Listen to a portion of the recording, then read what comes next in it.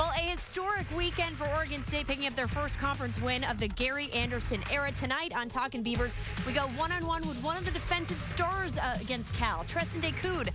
Plus, what our analysts think about the Beavers' ability to weather the storm against Cal. And can this success carry over against Utah this weekend? All that and more on Talking Beavers. Go Beavers! How about that? How about those Beavers? An incredible win on Saturday versus Cal, their first Pac 12 win of the Gary Anderson era. We're coming to you live from Blitz Ladd in Southeast Portland. Can the Beavers string together a second straight win this weekend at Reser, maybe against Utah? Welcome into Talking Beavers. I'm Amanda Maynard alongside Lindsay Schnell, back from the great state of Texas, right? Right. All the fried food. James Dockery, Nigel Burton. Uh, man, the dry spell is over. A long time since the Beavers last won. Uh, was this a program defining win in any way?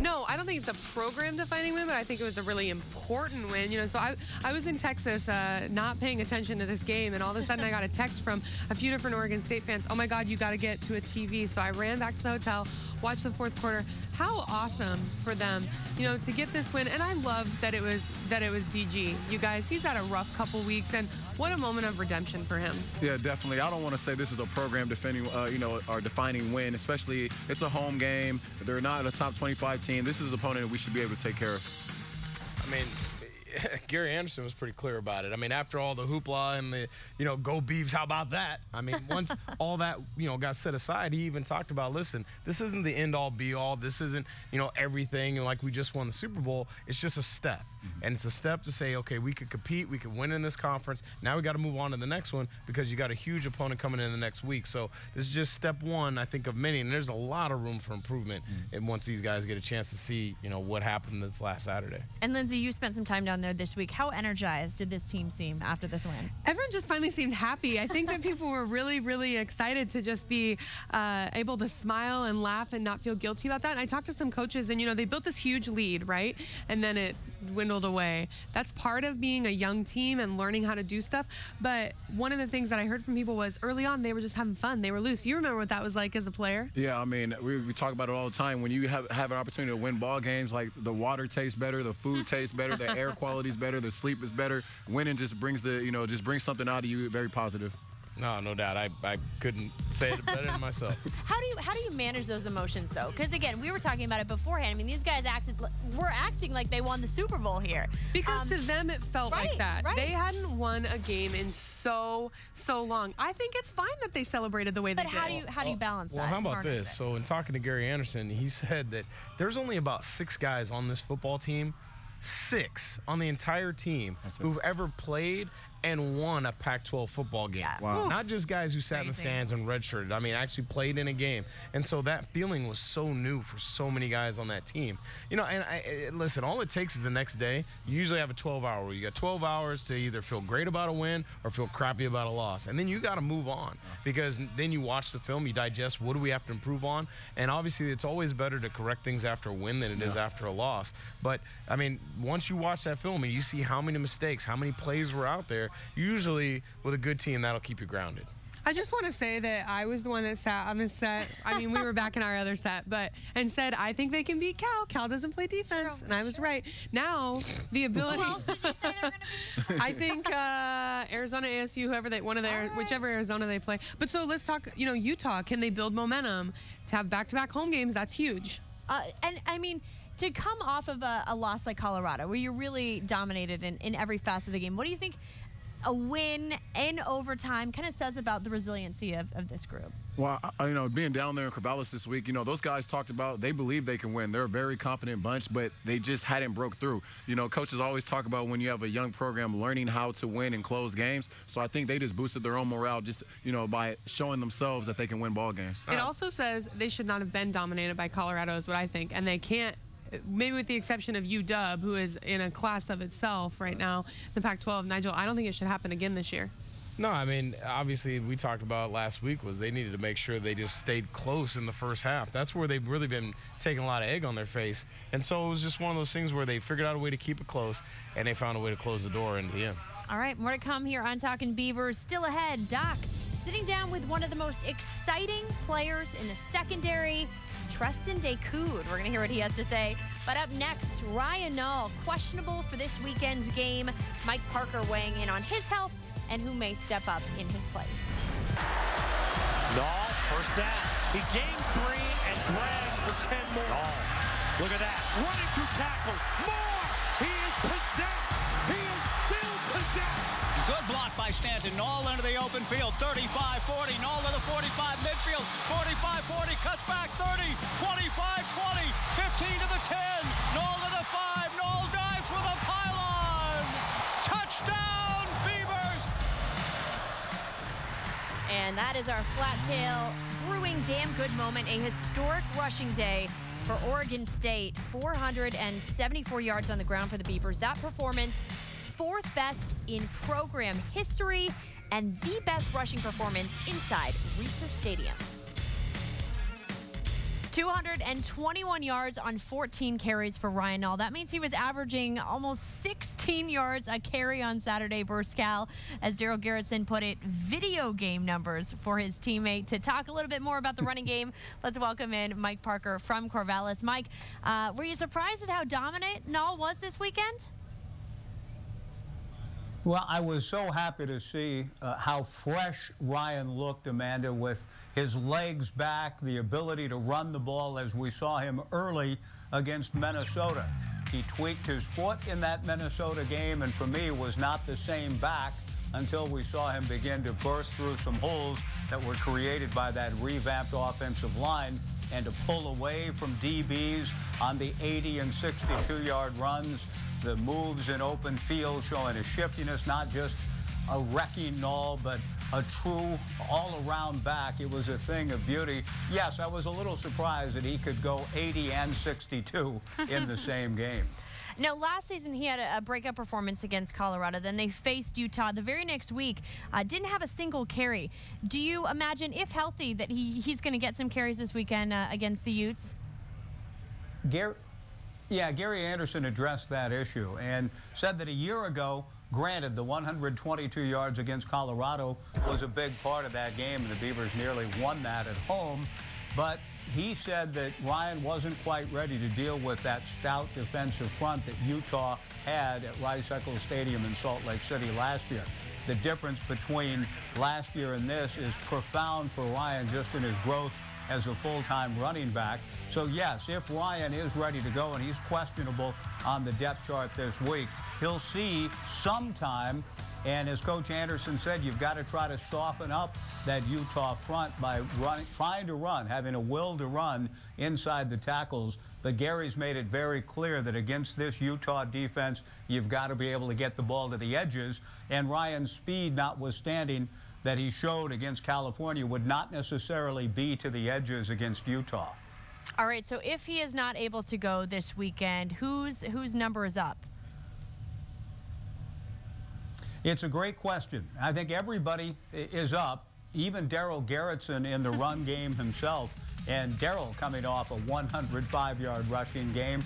But Paul Lucas showed the ability not only to get outside of the edges, but he ran hard between the tackles. Artavis Pierce has shown the ability to do that. I think you might see Seth Collins involved a little bit more that way. Victor Bolden, Xavier Hawkins. I mean, the Beavers do have some options in the run game, and I think they're going to need to continue to run the football well, even though it won't be easy against one of the top 25 defenses in the country against the run in Utah. The Beavers need to be able to run the football and have some balance in their attack. All right, thanks so much, Mike. So from some of his other breakout games, you knew what you had it, he had it in him, but where did this Ryan Nall come from? Uh, obviously, you know, just a huge game for him. Let me tell you what I was thinking when I saw the stats he was putting up. They're going to beat the Ducks, is what I would guess right now.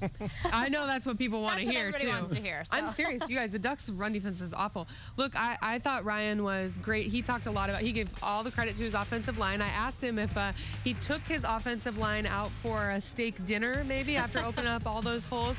He said he couldn't afford steak dinner, so he's giving out lots of hugs instead. Yeah, I'll follow that up because if he was playing on Sundays, he'd definitely be right. buying some watches or something. That's a career, that's a life-changing day right there. But, but unlike a lot of times when you'll see backs have good days and you know his position blocking, the offensive line really did create. I mean, they yep. created some monster holes. It, yep. it was a little bit of you know, this was the combination. Maybe, you know, it's no different than basketball where you're kind of having to find out what's the best uh, combination of players on the court at the same time that have ball flow and movement and who can make shots. It's the same with offensive line play. Sometimes it's not that first group that maybe got the most reps in fall camp. It was moving Stanton inside. It was having Sean Harlow out there. It was, and now they were moving Cal's defensive line off the ball. They were moving them absolutely, creating holes. He was able to run through it, and then we saw that he's got that straight line speed as opposed, in addition to being able to create those body blows and being that powerful wrecking Nall that we all know. I mean, is it is it part anomaly in that we talked about you know Cal's rushing defense is not very good, Mm-hmm. uh, or or do you feel like the run game really is starting to find its Look, niche again it- behind that? Oh, that It O-line? doesn't matter if they're good or not. This reminds me of in 2012 when the Beavers beat Wisconsin, and afterward, all these people are like, oh, Wisconsin's not that good. when you have a huge game like that, when you get a good win over a program, that builds your confidence. That makes you better the next week. Now, this week, you're going to be a lot tougher against Utah, obviously. The Utes are really, really really physical, but I think it's a combination. I think the offensive line is finally starting to figure it out, too. Yeah, I think one of the coaches told me that football is 80% mental. So I think, you know, so much goes on between the mind that if, you know, those guys believe that they can get the job done and they do it and they see it and they feel it, that goes a long way the next week rather than, you know, having a team blow you up and dominate you and then you're trying to roll into a, a, a game against a real physical team like Utah. There's just certain games when a team maybe lost more than the other team won. I don't think this was the case. I mean, Oregon State took it to Cal from the very beginning of the game and punched them in the face and then did it repeatedly. And so it wasn't like you saw a bunch of guys jumping out of gaps or not showing up. I mean, there were times when they controlled the line of scrimmage, linebackers would show up and they had to tackle a 235 pound guy who's going to stick his helmet in your chest. And guess what? They couldn't do it. And then the secondary would show up and they wanted nothing to do with that. And then they were able to counter with Paul Lucas. They were able to counter with Artavis Pierce. And then Darell Garretson beat him with his legs too. So it was an absolute mess for Cal to deal with. Well, and, and looking at some of these other guys, Ryan Nall is questionable for this weekend's game. Has been in a walking boot, uh, I think, the entire week. I don't think he's practiced at all. Um, if he can't go, uh, who do you look to? I, I think Pierce has been getting most of the first team reps this week. Uh, what do you what do you guys kind of think they do there? Bolden on the fly sweep a lot more would be interesting. It's going to be so tough to get that push on on for the offensive lineman this week because Utah uh, beat up Utah is still a really physical Utah. Yeah, I like Artavis though. I like his ability to make defenders miss, and he's a big guy too that can break some uh, one-on-one tackles once he gets into the secondary. But one thing I like about him against Utah is Utah is going to stuff those gaps. Those guys are going to be there. But a guy like Pierce that can make you miss and find something out of nothing, it bodes well. And Victor's always a big play guy. I have to tell you guys too because I talked to Ryan all this week at practice, and he said that for as great a day as he had, he was disappointed that Steven Jackson, his hero, didn't text him. Or tweet him or anything. He referenced Ryan also referenced you know what Quiz did in Monday Night Football. Right. So he said that he thinks maybe if he has what just a little bit better game, Steven Jackson will reach out to Okay, him. that's that's a very good uh, motivator, right? I know it really is though. Hitting you up on the phone. Yep. So SJ, if you're watching this, please, please hit him up. All right, a little later in the show, Sonny Dykes Cal team dominated on offense. Can the Beavs do it again versus Utah? We're breaking down Utah's run defense. But up next, Doc reliving his glory days. We're down there talking to uh, Treston Decoud, how he shut down Chad Hansen. All right, now we are taking a look at your X factors for the game. Doc, we're going to start with you. Yeah, my X factor uh, for the game is going to be Ryan Nall. I think that the best offense or the best defense sometimes is great offense. For me, the showdown's going to be at some point. Cal gets the football. I, might even onside the thing half a few times. But when they do have the football, Treston Decoud is going to get tested like he never has before. Is he really? Is he this guy who picks on the Idaho States, or is he a guy who's a real dude in the Pac-12? Exactly. And that's why you got to listen to these guys. We're time to hit out our Wilson Motor game balls. And again, pretty accurate last week, guys, huh? Doc, we're going to start with you. Who is your game ball going to? My game ball's going to Ryan Nall, the wrecking ball. You know, we talked about it. He was just a beast. We talked about it early in the year. If you can get this guy to the second level, there's not too many DBs in college, let alone in the NFL, that want to tackle 235 pounds of muscle. All right, Nigel, who do you got? You know, uh, we said it in the in the pregame, and, and, and this was early on in the game right here. Treston Decoud absolutely was a nightmare to Chad Hansen. He pushed him around. He made his life miserable. I mean, he did everything he could to disrupt that that passing game and let everybody know it. Chad Hansen left in a boot and everything. Okay. I'm taking Darell Garretson. Look, he's not a perfect quarterback, but we've got a quarterback transfer epidemic in college football, and he's had a rough couple last weeks. He could have let his attitude go in the gutter, but no. He takes over the game in overtime. I thought it was a great win for him, good for his confidence, and big for a team that, you know, really needed their leader to step up. All right. And speaking of Treston Decoud, we're going to take a closer look at him. Uh, he had one of the tougher matchups this weekend, trying to go one on one with Chad Hansen, one of the better receivers in the country. Uh, Doc sat down with him to talk about his dominant performance this weekend. Backside solo, and Webb got it away. Pass contested and incomplete by Treston Decoud. Let's talk a little bit about last weekend, the hype that Chad particularly had coming in, and the offense that Cal was going to bring. And you know, a lot of people, you know, across the Beaver Nation were, hey, can Treston really be a shutdown corner? Uh, you know, I knew I had a big task. Um, Coach Hall and Coach Anderson and Coach Clune, you know, they, they gave me the ability to lock up man to man with them when when, the, when, it, when it was time. And uh, I think watching on film, film told on him. Uh, it was a lot of guys that they played wasn't putting hands on them, and I didn't care about no penalty. I didn't care about none of that. I'm gonna put hands on them because that's how you frustrate receivers, and they don't like to get physical.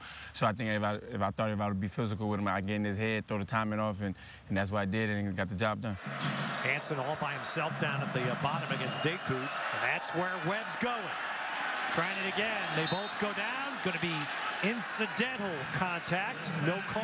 Incomplete. Well, so was that something that you were seeing on film where a lot of receivers or a lot of corners giving them a little bit too much respect and playing like, you know, eight yards off the ball? So will you say this was like a first week somebody really got up there and challenged Right. them? I definitely say that on film, man. They, they, they when, when they off, they backpedaling, they getting out of there. So on my backpedal, I wanted to be slow because I, I trust my speed. I, didn't- I didn't think he was faster than me. The whole offense was about timing, and I think once you get the timing, you and we had a good pressure with the D line with Brighton them getting back there and helping me also. So it wasn't just me; it was also my a team effort. Going for the big shot to Hansen. And he and Decoud again. Tangled, some arm fighting. And the pass incomplete. Was that something that you felt like, did you change your approach? Did you do anything different? I mean, I know for me, you know, when I was in college, I'm not gonna lie, some weeks, hey, it was a bigger matchup than other right. weeks. And, you know, looking back on it, I wish I would have, you know, treated everybody the same. Right. But I think that's very hard when you know this guy's second round potential. Uh, this guy, not so Right. much. Was that something, did you change anything? Uh, I definitely did. Uh, I, I think I was more focused. I think I watched more film than I ever did ever, and, and I'm glad I did that. Now I know what it takes to be successful, and it was just a different mindset. And I just was like, I can't let this guy catch a deep ball on me. I can't let this, and it was all the hype. You know what I mean? I was tired of hearing people, oh, what you gonna do? What are you? What is this? What is this? On Twitter and all that.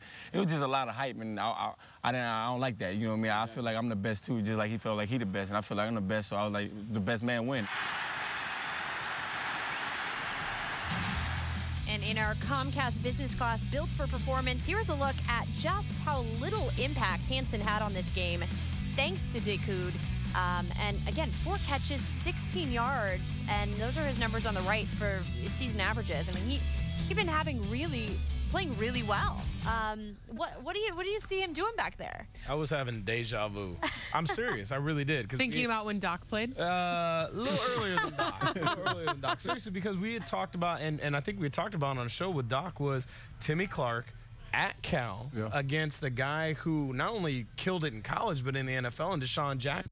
And everybody was like, man, how are you ever going to deal with this guy? And are you going to be able to do it? And we're like, listen, gave him the confidence. He said almost the same thing verbatim. I'm not going to worry about penalties. I'm going to be aggressive, push this guy around. And he did it. And then you fast forward 13 years later, you've got one of the leading receivers in the country. Everybody's scared of the guy. A guy who, you know, I mean, Treston Decoud is relatively unknown in the Pac 12. You talk about the top DBs or corner- corners in the league, nobody really brings his name up. And here he puts himself on the map by dominating one of the best guys in the country. Okay, Doc, I want you to explain to me and to let's pretend that all your uh, Westview kids are watching this. Why is he such a good DB? How much of it is his size? I mean, he like locked Hansen down. Yeah, a lot of it is size. I mean, nowadays, you know, receivers are not going out there and seeing six three corners all the time. You know, Oregon State, Coach Burton, one of the first, you know, guys that were really trying to bring in long, long corners. And, and Treston has that advantage that even if he's beat at the line of scrimmage, he can look and lean, and with his arm and his reach, he can get PBUs, and he's doing a great job doing that. But with Treston, when you hang out with him, confidence kills. What, what do you think about him as a, an NFL prospect? Is it, you know, do you think he has has that in the, his future? Yeah, I mean, I've seen a lot of DBs and so has Coach, but I think as you see in that clip, he can do a lot better with getting his hands on the receivers at the line of scrimmage. With his size and his reach, uh, you know, NFL scouts are going to want to see him be disruptive at the line.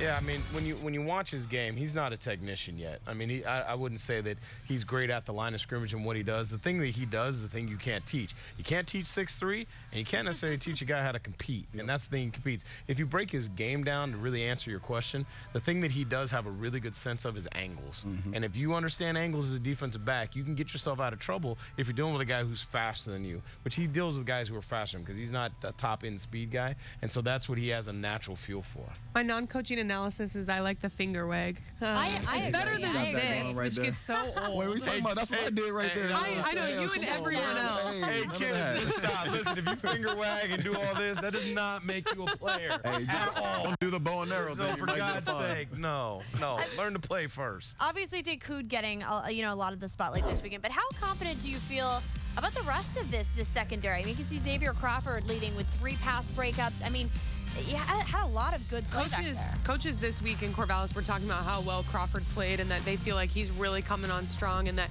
while Decoud gets all the attention because he locked down Hansen, who's one of I think Hansen came in as a leading receiver in the country. Yeah. Um, for Xavier to be playing so well is huge going into the stretch. Yeah, Crawford's an athletic kid. I mean, I think he can improve with his ball skills because some of those he's in position. We need to take away the ball. But, you know, Devin is also a kid that keeps showing up week to week, and uh, he's really playing well. Yeah, Devin tackled better. That was the biggest thing for me. And to be honest with you, if you really watch the, the Oregon State defense, there were some times they could have gotten themselves off the field and tackled better at the point. So there's still lots of room for improvement when you consider 317 yards rushing. But they did they did squelch one of the best passing games in the country.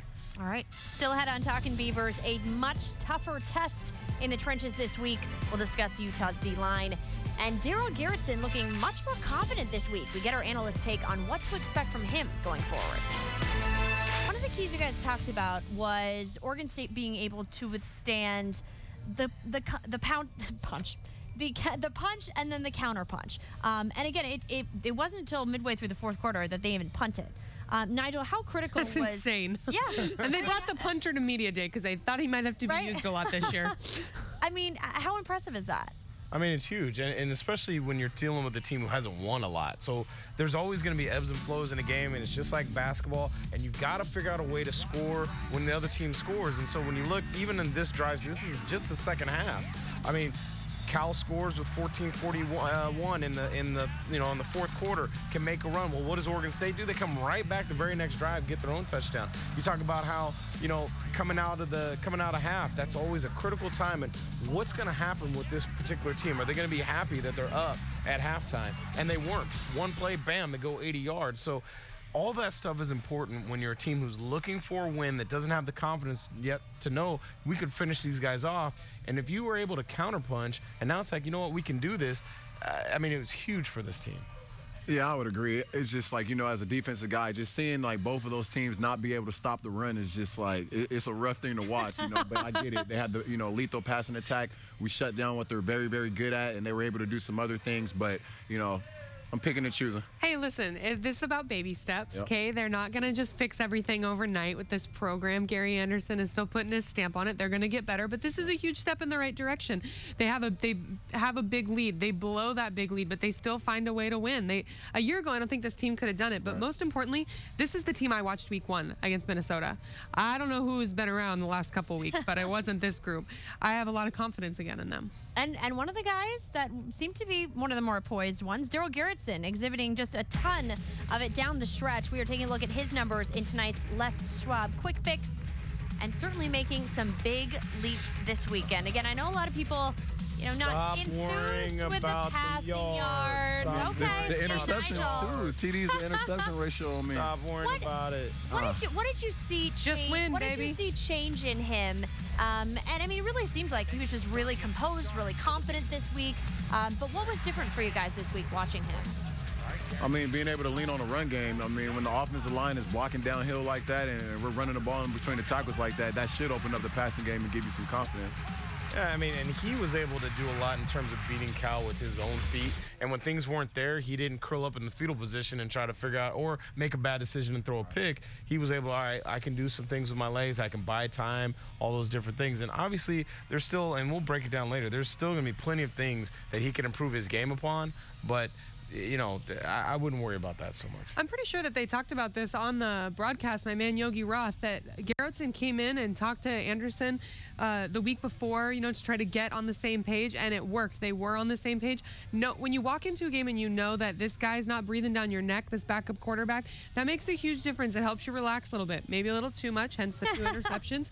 But it's okay. You can fix those things. You know, I, I think you're going to play a much tougher team this week, but a, a huge step. I know one thing when Coach Anderson came to the program, he always said that he wants a quarterback that can beat you with your arm, your legs, and your head. And I think that's what DG can do. And so he, he definitely put that on display. And, and to be honest with you, this team didn't, I'm, I'm still going to say, this team doesn't need Jared Goff. Jared Goff, yeah, he can throw the ball pretty and all that kind of stuff. But when it's third and six and all those guys are covered, he's not the guy who's going to then run for six right. yards, dive across some guy's face, take one in the shoulder, and get the first down. That's just not who he is. This team needs a guy like Darell Garretson who's going to find that way with when he's beat up, he's had his head ripped off 15 times, his foot hurts, to find a way to win. And Kevin McGiven talked about, um, you know, having several design runs for him. Um, how, that was the last play yeah, was a design run. It was, it was, yeah, it was not a broken play. I mean, how having factoring him into the the run game. I mean, how big of an advantage is that? How how difficult does it make it for defense? Well, As these I mean, two, they have to that's the stop spread. it. I mean, that's time. what the spread is all about. So the idea is, you know, when you're designing defense, you're always down a player, mm-hmm. and so anytime the quarterback can be taken out, now you can create that extra so that you have an extra guy to the ball. Well, once he becomes a runner, now everything's one on one, and it's tough to tackle guys in space, and that's why the spread is such a lethal system. This is really reinforcing to me yet again that when Jordan Poyer played at Oregon State. Mike Riley should have put him in at quarterback to run the spread just once. It would have worked. I thought we could have ran that. have worked. Ryan Katz, Ryan Katz was mobile, and we, we didn't use him in that regard. But well, yeah. you know what's funny is when Ryan Katz was the quarterback, they did toy around with some reads on it, trying to find ways that they could take advantage of it. I just think, you know, when you're a coach, you stick with what you're comfortable with and what you know, versus all of a sudden trying to learn Absolutely. something out of a book and then you just blow the whole thing up. Right. All right, Beavers fans, we have a chance for you to take home some cool Oregon State stuff. Stay warm at OSU Beaver games. We've teamed up with the Beaver store to give you a chance to win this beanie, scarf, and hat. How to answer, you have to follow us on Twitter, CSN NW, like this post, and tag two of your OSU buddies in the comments below. Giveaway is open until Sunday, just before midnight, and stay tuned for lots more giveaways coming your way. And still to come, a closer look at what makes Utah's defense so stout and look at their offense. And how do the Beavers fix the passing game this week against Utah?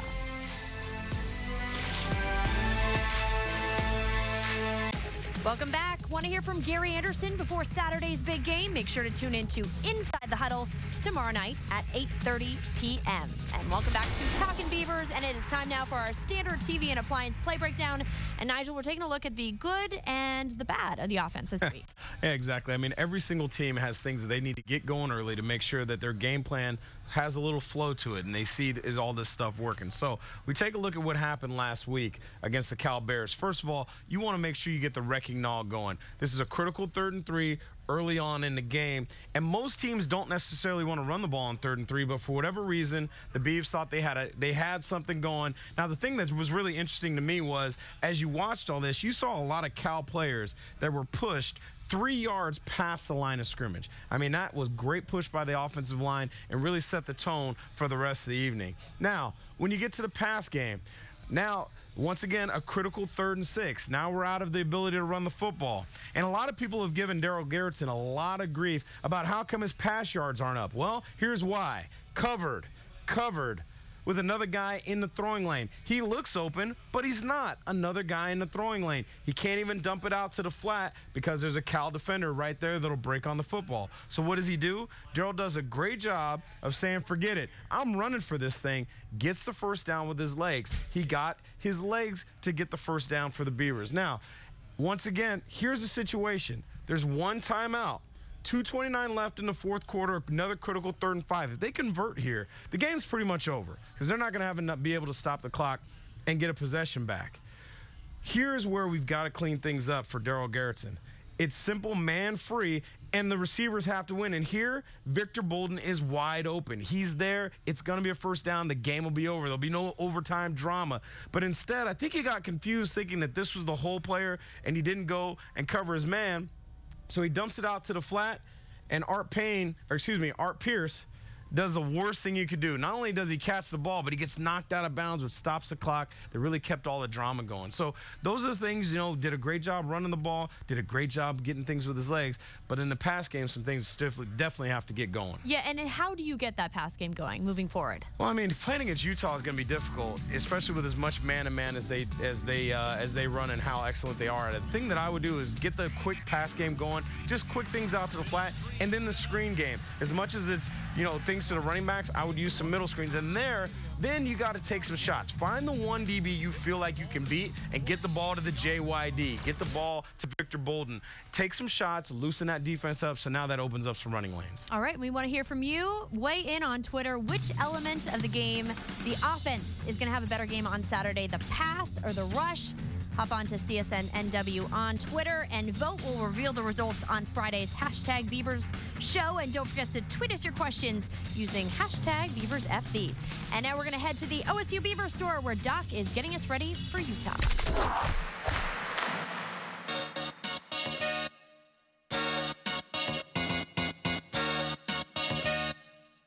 Hey, Beaver Nation, we're at Utah this weekend, and if you're planning on going down there to check out the Beavers, come on down to the OSU Beaver Store campus location and come get your kiddos geared up.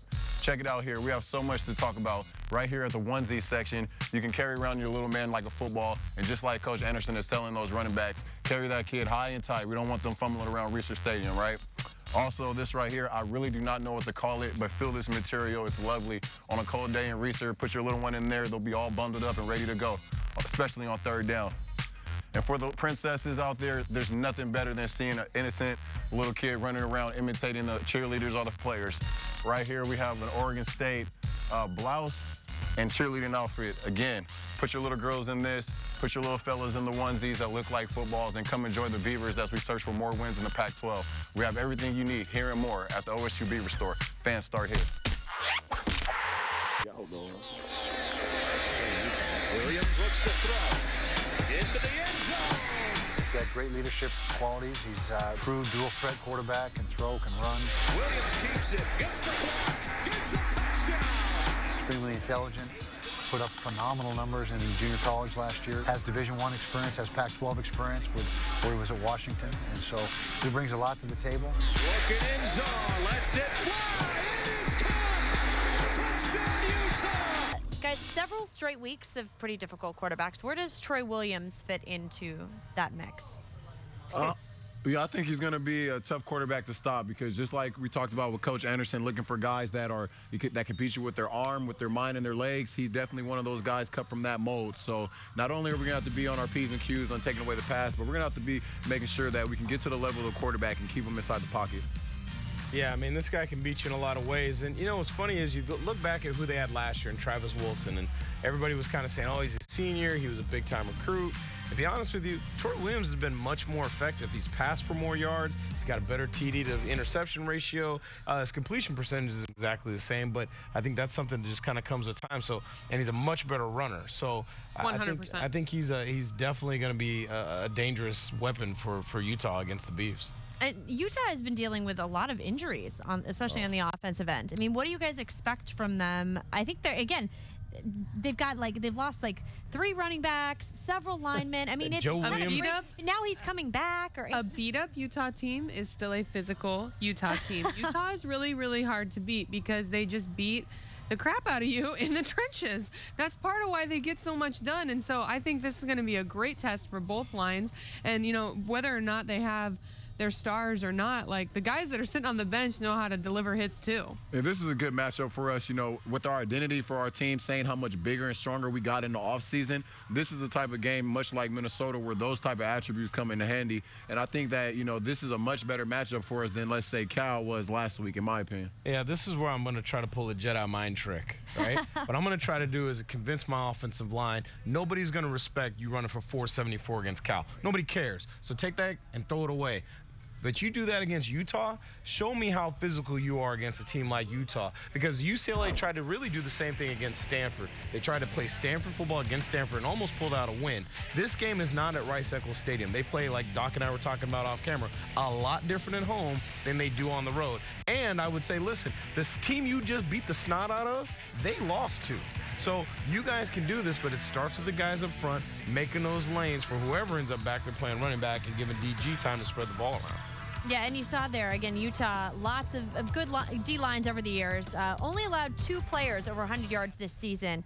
Um, I mean, just what makes them be able to be consistently so good? Well, where'd you see all those highlights at? Right? They were at Rice Eccles. I'm serious. That is one of the toughest places to play. It is. It is a, In the a country. fervent. It is a fervent place. So now on the road, it's a different deal. But I mean, Lotulelei and, and Mokofisi. I mean, it starts with those two guys down the middle. They they are massive human beings that don't get moved around a lot. So it starts with them. You got Chase Hansen. You've got some guy. Which I know we played Chad Hansen. I'm not confused. It is Chase. I know I had some issues with Thomas Deku. Anyway, but uh, so they've got some guys who really do a great job rallying to the football, and they are so stout in the middle. Yeah, I played with uh, you know Lotulelei's older brother Star, and those guys are just some big, massive athletes, and those guys are some special football players. But you know, I I think that we have a chance to really you know shake up some things in the Pac-12 and just come out there and compete. But Utah is definitely one of those schools that are respectable. This is a, a program that prides itself on being physical and prides itself on its defense. Kyle Whittingham is one of the best coaches in college football, one of the most underrated coaches too, I think, in college football. Defensive mind, that's what they've always been. That's they love that that's their identity, and that hasn't gone away. You know, last year when Oregon State played them, they had an advantage because Kalani Sitake, their longtime D coordinator, was there. But this staff at Oregon State, Gary Anderson is still really familiar with them and what they do, and they just execute. Period. The end, and they do it in a physical manner. All right, much more to come here on Talking Beaver. Still ahead, why you should keep your eye, what you should keep your eye on during Saturday's game. Our analysts are weighing in on the X Factors. Not even halfway through the college football season, but college basketball already underway. The Beavers starting practice this week, and the first game is an exhibition game November 4th versus the Corban Warriors at Gill Coliseum.